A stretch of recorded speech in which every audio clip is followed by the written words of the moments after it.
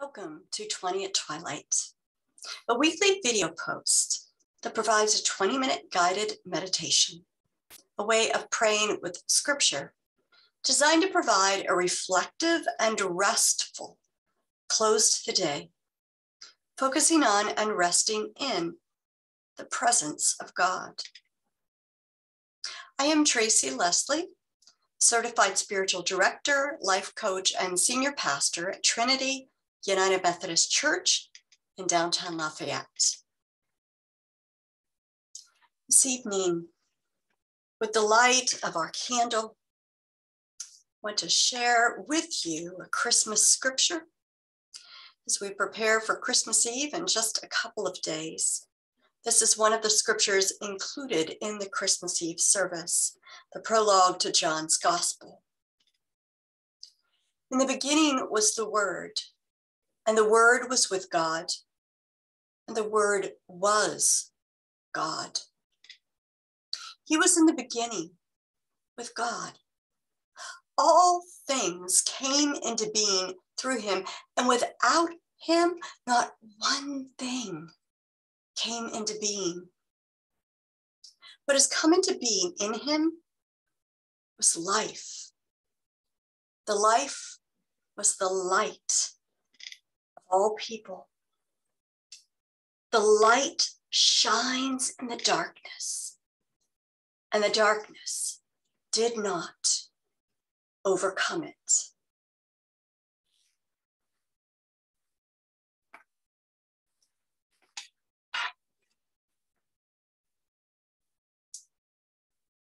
We call upon you, O Lord.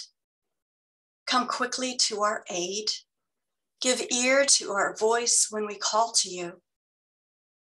Let our prayers be counted as incense before you, and the lifting up of our hands is an evening sacrifice. Before I read this evening's scripture, I want to invite us to take a moment to take three deep breaths remembering that in Greek, Hebrew, and Arabic, the same word can be translated as either wind or breath or spirit. So as we breathe in, we breathe in the spirit of God who fills us with life.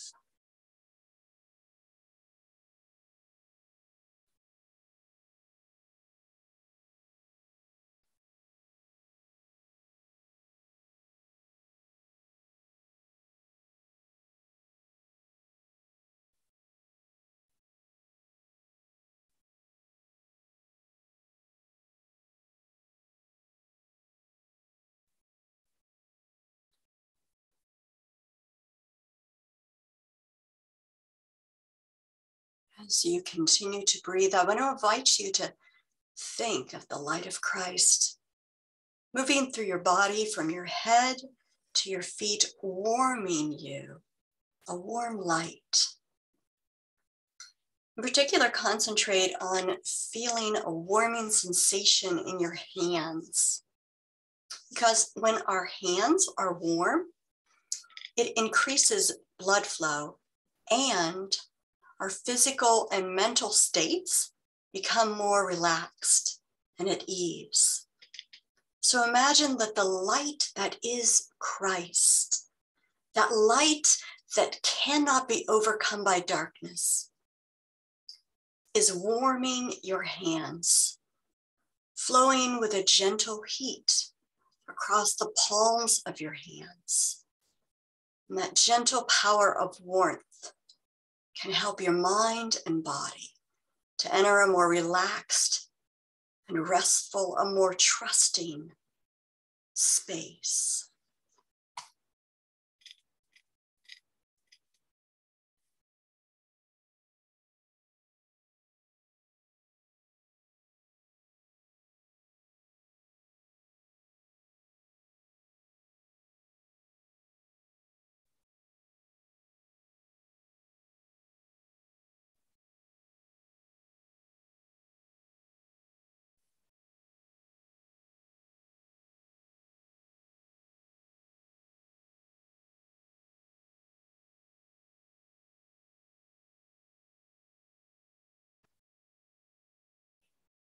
As always with these meditations, if at any point you would like to pause for additional time to reflect and to pray, feel welcome to do that. This evening, I want to invite you to enter into Luke's gospel proclamation of Jesus' birth, to engage your senses, to truly place yourself within the story.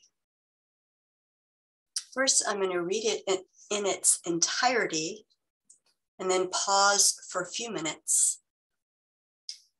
And then I'll read through again with just a couple of verses at a time followed by prompts and moments of silence to guide you and invite you again to enter into the story. So, here now, Luke's proclamation of our Savior's birth. In those days, a decree went out from Emperor Augustus that all the world should be registered. This was the first registration, and it was taken while Quirinius was governor of Syria. All went to their own towns to be registered. Joseph also went from the town of Nazareth in Galilee to Judea to the city of Bethlehem, or the city of David, called Bethlehem, because he was descended from the house and family of David. He went to be registered with Mary, to whom he was engaged and who was expecting a child. While they were there, the time came for her to deliver her child, and she gave birth to her firstborn son and wrapped him, swaddled him in bands of cloth, and laid him in a manger because there was no place for them in the inn. In that region, there were shepherds living in the fields, keeping watch over their flock by night. Then an angel of the Lord stood before them, and the glory of the Lord shone all around them, and they were terrified. But the angel said to them, Do not be afraid. For see, I am bringing you good news of great joy for all people. To you is born this day in the city of David a Savior who is the Messiah, the Lord. And this will be a sign for you. You will find a child swaddled in bands of cloth and lying in a manger. And suddenly there was with the angel a multitude of the heavenly host, praising God and saying, Glory to God in the highest heaven and on earth, peace among those whom he favors. And the angels had left them and returned to heaven. The shepherds said to one another, ah, Let us go now to Bethlehem and see this thing that has taken place, which the Lord has made known to us. So they went with haste and found Mary and Joseph and the child lying in the manger. When they saw this, they made known what had been told them about this child, and all who heard it were amazed at what the shepherds told them.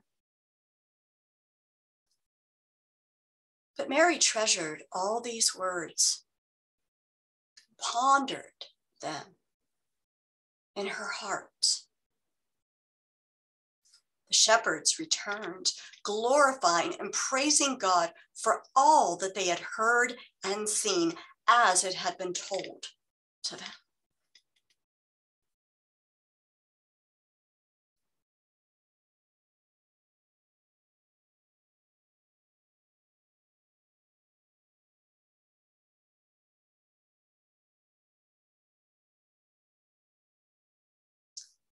So now once again, I will share the story with smaller portions at a time. and invite you with some prompts to truly enter the story. In those days, a decree went out from Emperor Augustus that all the world should be registered. This was the first registration, and it was taken while Quirinius was governor of Syria. All went to their own towns to be registered. Joseph also went from the town of Nazareth in Galilee to Judea, to the city of David called Bethlehem, because he was descended from the house and family of David. He went to be registered with Mary, to whom he was engaged and who was expecting a child. Perhaps you too have had an occasion when you've had to travel under less than ideal circumstances. Perhaps you were sick or exhausted. So take a moment to imagine what it must have been like to be Mary or Joseph as they entered the village of Bethlehem after that journey. What would you see as you entered the village? What are the streets and homes and shops that dot those streets? What do they look like?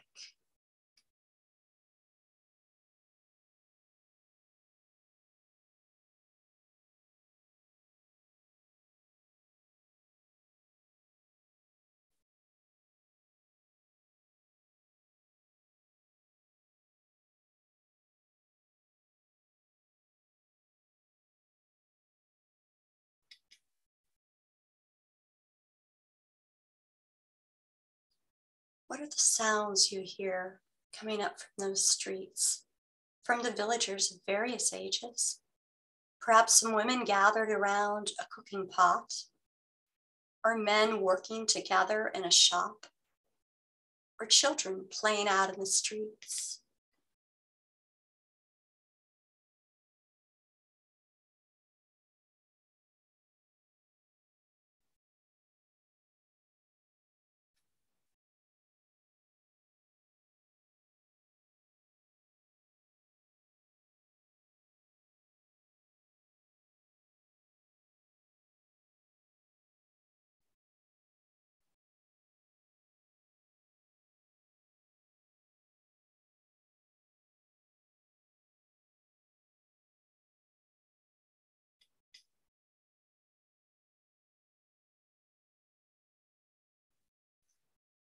Finally, as your journey is ending, try to imagine how Mary's body must have felt, especially her feet and her back.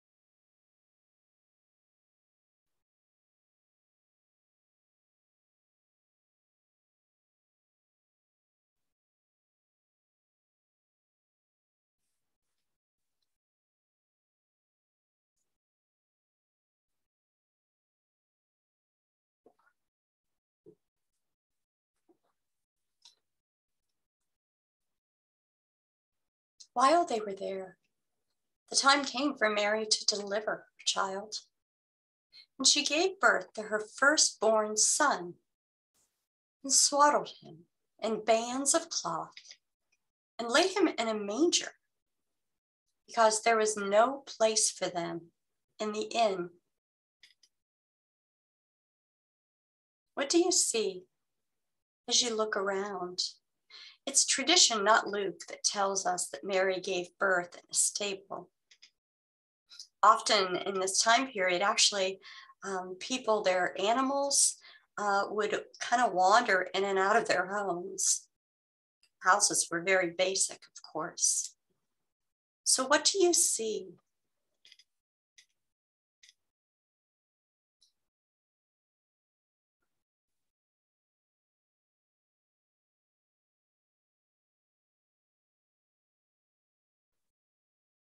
Breathe deeply also. The evening air, how does it smell?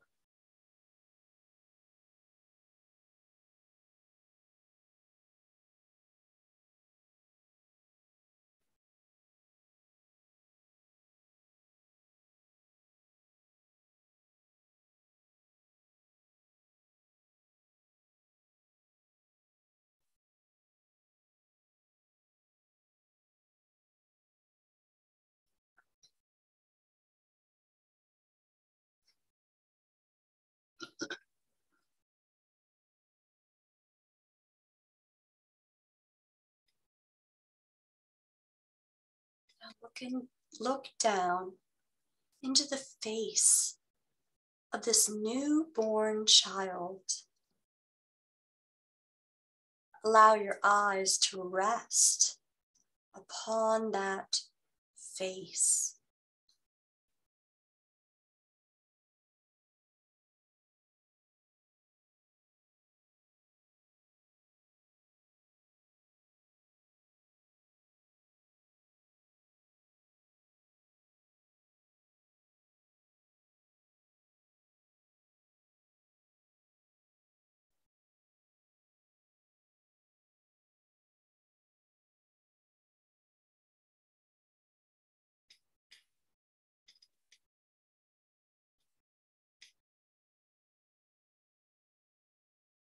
Imagine touching maybe Jesus, his tiny hands, his soft cheeks. How does his skin feel?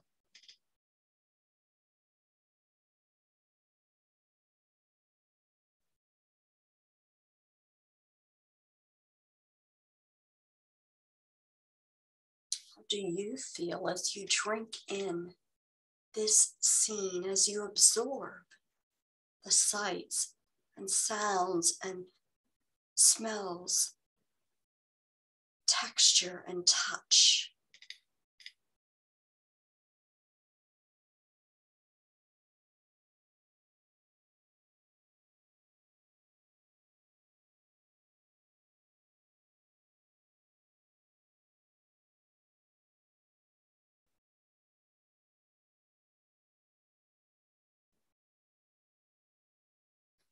In that region, there were shepherds living in the fields, keeping watch over their flocks by night.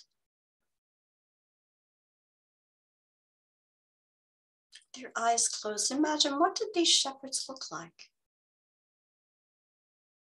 What might it have looked like to look out over the fields? What do you hear? Are the sheep bleating or have they settle down for the night.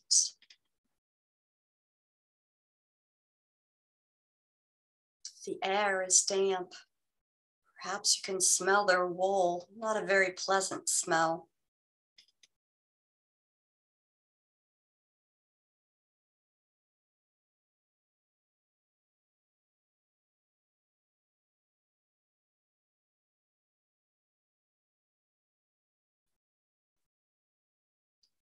Perhaps the shepherds have gathered around a small fire and are eating bread and drinking tea. How does it taste?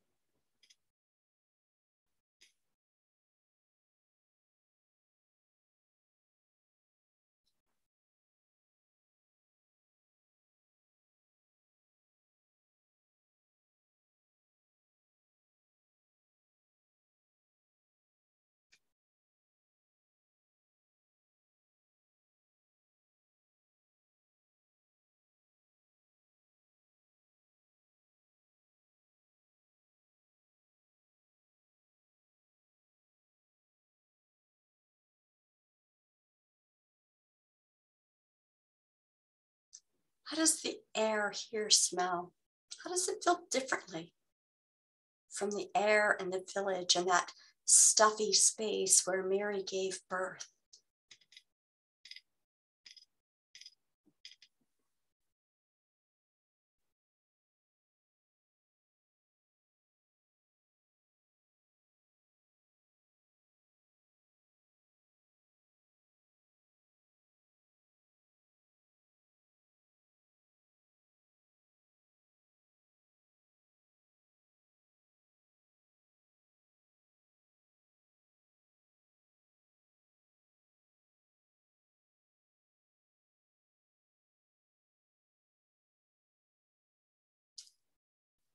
Then an angel of the Lord stood before them, and the glory of the Lord shone around them, and they were terrified. The angel said to them, Do not be afraid, for see, I am bringing you good news of great joy for all the people. To you is born this day in the city of David a Savior, who is the Messiah, the Lord. This will be a sign for you. You will find a child swaddled in bands of cloth and lying in a manger. And suddenly, there was with the angel a multitude of the heavenly host, praising God and saying, Glory to God and the highest heaven, and on earth peace among those whom he favors.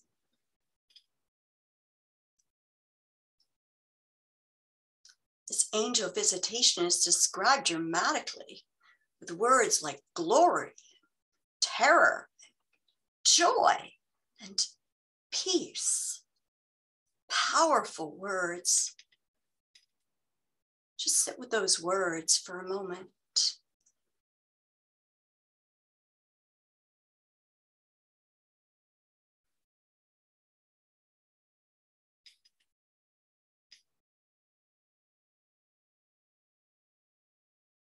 Imagine yourself as one of those shepherds. What do you see and hear and feel and sense that is glorious?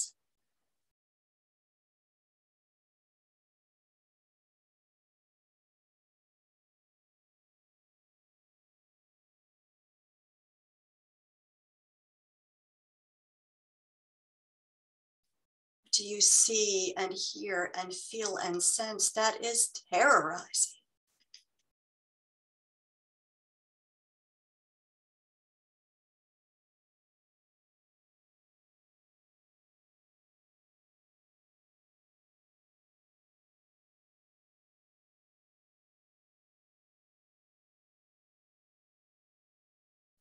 What do you see and hear and feel and sense that is joyful.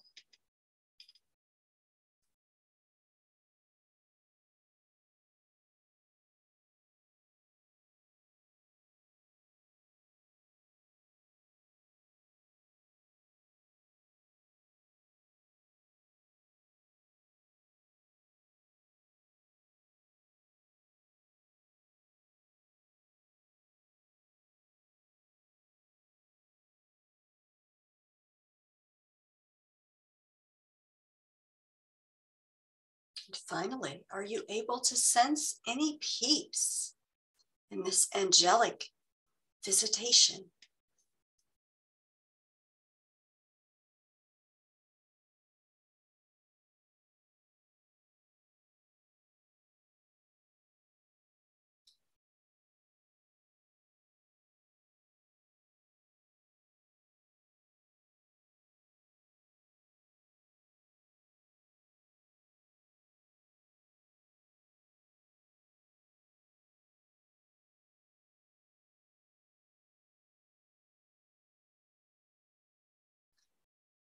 When the angels had left them and gone into heaven, the shepherds said to one another, Let us go now to Bethlehem and see this thing that has taken place, which the Lord has made known to us. So they went with haste and found Mary and Joseph and the child lying in the manger. When they saw this, they made known what had been told to them about this child. And all who heard it were amazed at what the shepherds told them.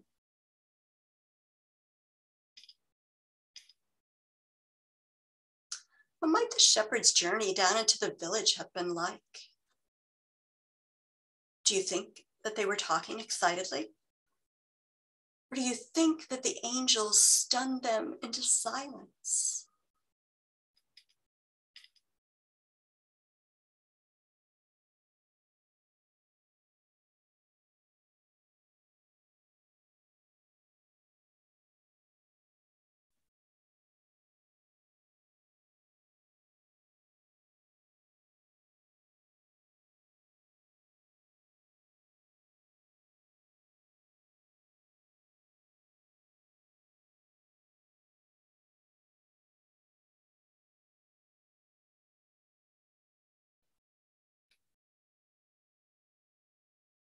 Does it feel to travel down into the village with such haste? Are your feet slipping on any rocks? Are you struggling to see the path?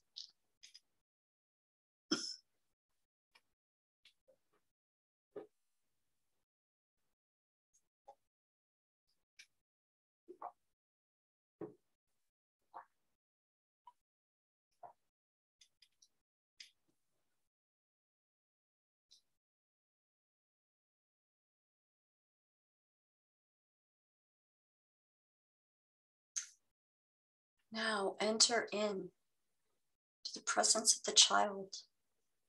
What do you see? Is Jesus sleeping? Are Mary and Joseph leaning over the manger?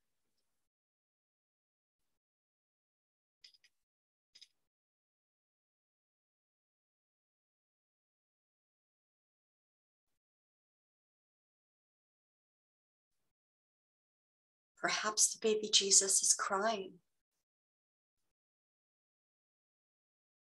What do Mary and Joseph say to you?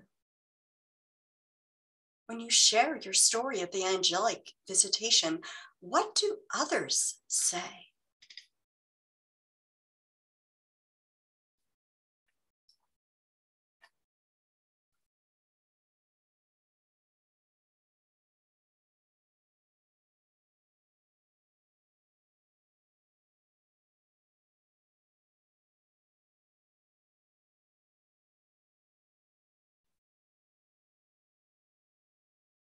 Do they all look like? As you share your story, observe the faces and body language of Mary and Joseph and others.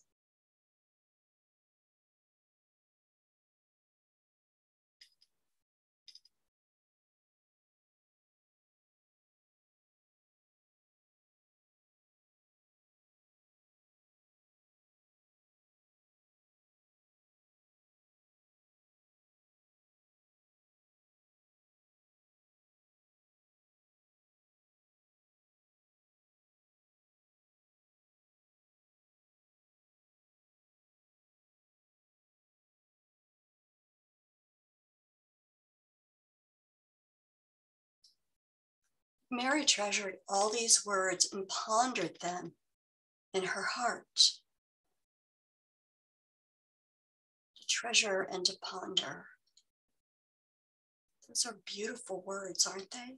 Imagine how you feel when you hold something within your heart, when you treasure it and reflect on it and, and work to process it.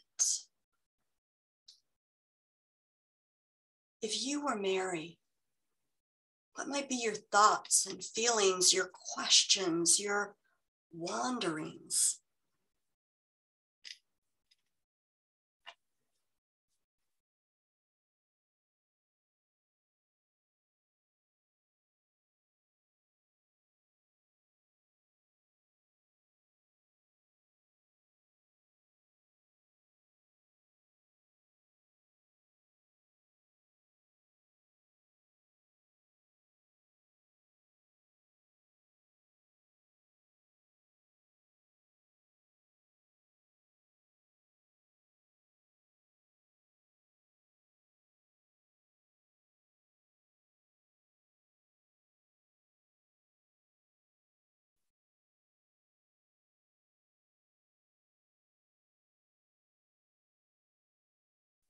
Shepherds returned, glorifying and praising God for all that they had heard and seen as it had been told to them.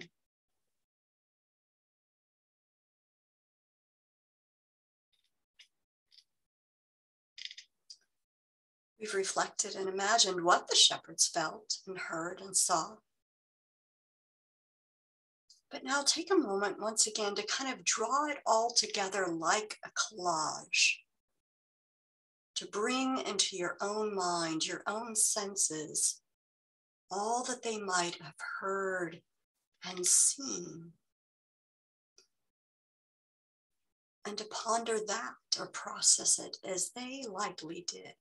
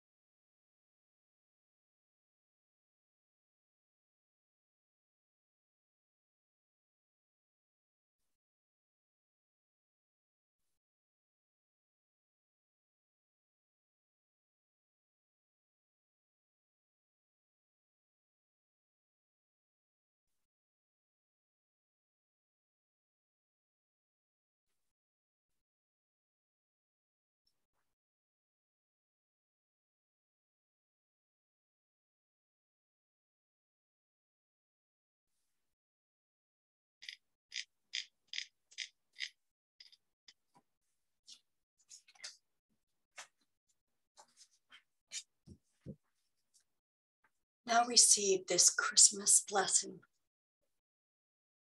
Loving God, help us remember the birth of Jesus, that we may share in the song of the angels, the gladness of the shepherds, and the worship of the wise man.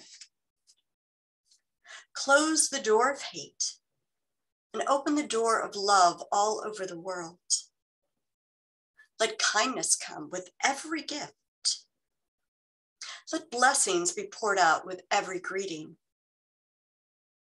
Deliver us from evil by the blessing which Christ brings, and teach us to rejoice with hearts that are pure.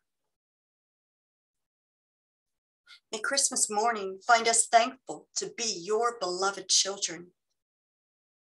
And may Christmas evening bring us to our beds with grateful thoughts, forgiving and forgiven for Jesus' sake. Amen. The joy and the peace of the Christ child be yours. Amen.